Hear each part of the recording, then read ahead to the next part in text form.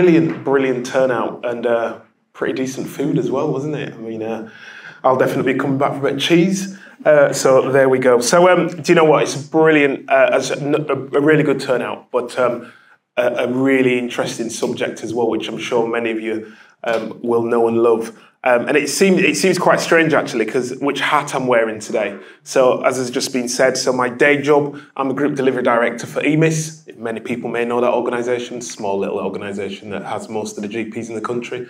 That's something like that. And uh, um, I'm also, and, and, and one of the conversations earlier really struck home, um, I'm also a non-exec director, so on the board for Leeds and York Mental Health Trust. Um, so when we talk about um, health inequalities and sharing data, um, that again strikes a chord. But tonight, I'm here uh, to talk about uh, Leeds Community Foundation. And uh, uh they've chosen me, and it's an absolute pleasure and privilege uh, to be the chair of that organisation. Um, so I wanted to just talk about Leeds Community Foundation. They are very well supported by organisations like BJSS and others in this room. Um, and are also uh, the charity partner for Leeds Digital Health and Leeds Digital Foundation. So if you haven't heard of us before, you'll hear of us now and you'll hear what I'm going to talk about, what we do, um, and why it's really important. So, Leeds Community Foundation, um, who are we? Um, we are um, the largest charitable funder in the region. So, we're, we're actually a, um, a, a, a grant giver and we support a lot of the smaller community organisations that are helping those individuals that we talked about earlier, um, those that are in the most challenging and difficult uh, times. So, what we do is we raise money and we support local community organisations. So, not the big charities that everybody knows and loves, you know, and you know, keep giving to them, of course. Um, but you know, it's the real ones that are that are making a difference uh, to individuals and and making a difference to individual lives. So that's what we do that's our big, um, our motto is, oops, I'm not clicking the right thing, is about a fairer Leeds for everyone. And we also talk about, you know, as was discussed earlier, we talk about um, health inequalities. And, you know, we talk about data that was talked about then, and you look at the, the, the, the, the health outcomes for individuals living in certain areas of the country, of, of the city, um, the least affluent, the ones with the most challenges, not only do they have uh, health issues and actually being able to share and move data around is really important, but it also makes a difference to their lives. So those individuals that start um, in the poorest uh, environments, they have a shorter life expectancy, they have worse health outcomes, and their lives are, is, is pretty much stays in, in that state. So you'll hear lots of people talk about your life, and often your life is defined at seven years old. Depending on where you are at that point, is the rest of your life. And we're trying to make some changes uh, to do so. So, yeah, as I said, we're an independent grant maker. We collaborate with the community, we collaborate with a lot of organizations, um, including the council, the health uh, uh, sector as well. And we're a leader in, in, in working uh, with those organizations and helping those small uh, community organizations uh, to be able to deliver um, to a, fairer city for everyone. And as I said, how we work is we work with those those um, individual community organisations because they really know what is what what's out there and the difference to make. You know, it's not about just handing a bit of cash to um, you know to help someone buy a, a, a meal for today. And it's what that's really important actually because one of the things that people will say when charitable giving, it's not about feeding someone today, but it's actually creating a sustainable change. So you're better off teaching someone how to cook than give them a meal just for one day. And this, this for me is just a really simple statement, um, and, and it's really important around the city of Leeds, my hometown. So I'm obviously clearly proud of it. Um, but when organize, when community organisations thrive, local people thrive, which benefits the city and benefits us in the tech sector as well. We've raised a few a few quid over the years, as you can see. Um, 66 million in, a, in grants that we've we've given out since 2005, supporting a whole host of community organisations, and we just got to keep building on that. The actual demand and the need is getting greater, not lesser, right now.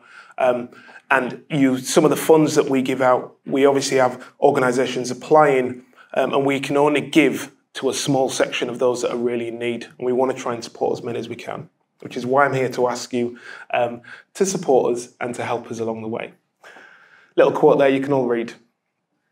Um, so, my big ask I've got the begging bowl actually, and I want you to all support Leeds now and in the future, and do that by supporting us um, at Leeds Community Foundation. So, there's a number of ways that you can support us. There's obviously the QR code which takes you to um, our fundraising, and you can just give, you know, a donation. We have a, also a really good program called our membership, and as it says, it's a thousand pounds a year, um, 83 quid a month. Think about it that much. How did I do it? Is it 83 quid? Split that into a weekly? Is that, uh, yeah? It's about a coffee a day, isn't it, at the moment? So think, think um, the difference you can make. And not only being part of the membership and obviously giving uh, to the organisation, but you also become part of the community and part of our organisation where you can go and see uh, and be part of some of the uh, events that we, we also hold in order to raise funds. You can, of course, uh, donate and the money will go into the Leeds Fund, and that allows us to, to support unrestricted. We also have restricted funds, so individuals that are quite affluent will say, I want to give you some money, but it has to go on X or Y. So the Leeds Fund is an unrestricted fund um, and one that we're trying to continue to build. There's another way. Tomorrow is the last day for buying tickets for the Leeds Digital Ball. Uh, the Leeds Digital Ball takes place on the 9th of May at the Armouries, and all proceeds go to, um, to Leeds Community Foundation. Over the last two years, we've now raised £160,000 through the ball. So if you want to put your glad rags on uh, and look pretty for a night, um, uh, that's the place to be. Um, and if you want tickets, get onto, um, onto uh, the Leeds Digital Ball um, uh, website and get your tickets bought. And we're really welcoming individual tickets. So there's currently just over 500 people going, so you really don't want to miss out. It's a proper FOMO event. Um, so, yeah, so that's really what I wanted to share. I also wanted to talk about, just really, really quickly before I finish, um, and give you some real life information. So, I talked about the digital ball. What that is raising money for is digital inclusion. Um, so, we are trying to support individuals. You know, we talk about access to life now. You know, you can't actually get on a bus um, without having a smartphone and being connected digitally. So, what we're trying to do through the Leeds uh, Digital Inclusion Fund is raise money to give to community organisations to support those individuals that a smartphone, the internet is not second nature and makes an absolute difference to their life and their access to their life. Um, and you think about what the great things that's going on in health at the moment around the NHS app and all the rest of it. Imagine if technology is not your not your thing, and you are then excluded from even getting access to health. So that's one of the things that we're trying to do. We do lots of things. One of the ones I wanted to mention, because I think for me this one is frightening in such an affluent and, and successful city of Leeds, and it's the amount of individuals and the amount of children that outside of when, they, when they're on school holidays don't actually get a meal because what they rely on is the free school meal that takes place uh, every day. So we are part of a major program and an ongoing and sadly growing needing program called Healthy Holidays. And it's literally about giving people food when they're on school holidays because that's the only meal that they will get. So just those little things that we're doing and making, hoping to make a huge difference to people's lives, a huge difference to their existence, and for them to be part of this thriving and amazing city that we all know and love. Um, but it's quite sad that so many individuals will never even get the opportunity um, and will be limited to their own access uh, to health services, um, to libraries, to education, and, and worse still, because of uh, the path it sets you on to life, to life choices. So I just wanted to say thanks for having me and um, get your wallet out. Thanks,